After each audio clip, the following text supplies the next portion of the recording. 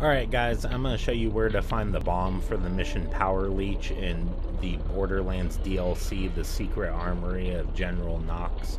So you can kind of see where I'm at right now on the map. I'm right in front of this carport here.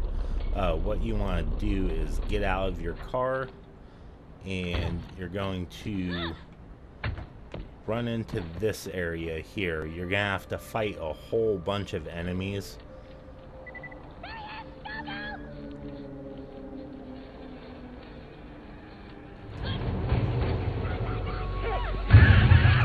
What you want to do is just start going upwards. Just go up every ramp that goes up.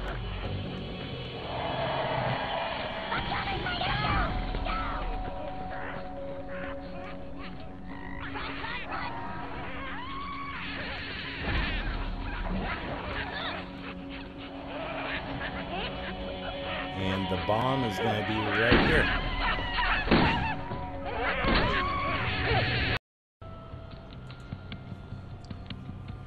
Alright guys, I cut over to where you place the bomb at. So you can see the detonator right here, and you can see that cord going up to the top there. That's where you're going to place the, the bomb. Let me just show you where it's at on the map. So you can see the detonators right next to this little square thing on the screen here. And what you need to do is actually run all the way over here and work your way up this bandit camp right here to the top of the overpass.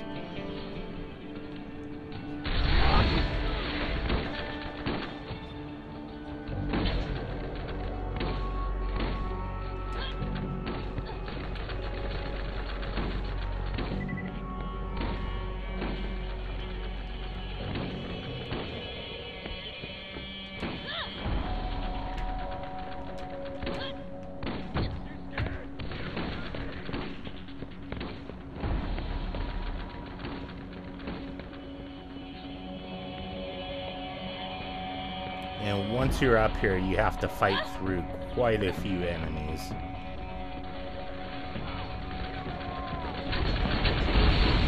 But if you're like me, you could just stealth past all of them.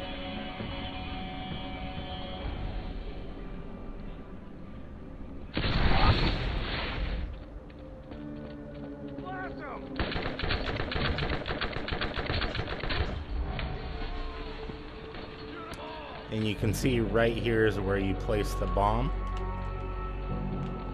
And then what you want to do is just hop back down.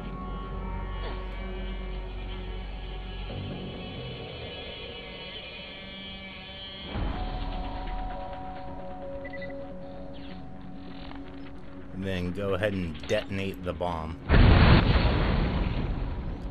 So that's going to be it. I hope that helped you guys out. Make sure you subscribe to my channel, like this video, and thanks for watching.